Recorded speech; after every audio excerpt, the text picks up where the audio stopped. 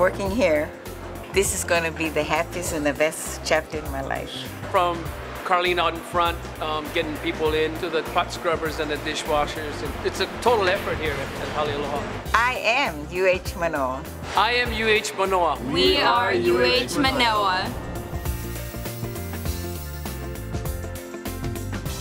I try to put myself in the customer's shoes. I think to myself, would this be something I want to eat? How can I make it better? Sodexo uh, uses locally based sources. They put customer service first. The students are away from home, so I try to make them comfortable. They put students in the center of their values. A memorable experience from the dining service that I received from a Sodexo employee was in the Gateway cafeteria. There is a lady there that works at the front, and every time I come in, she always greets me.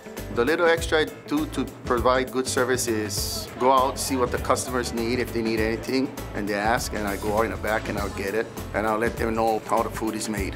The dining experience we provide is not just about how good it tastes, it's how good it looks on the plate as well. I am UH Manoa. I am UH Manoa. We, we are UH Manoa.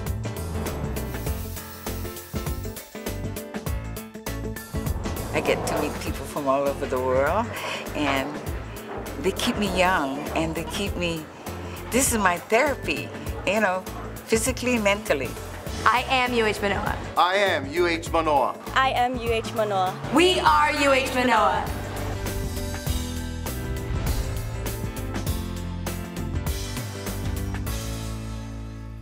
And I like to dance too, you know, with them.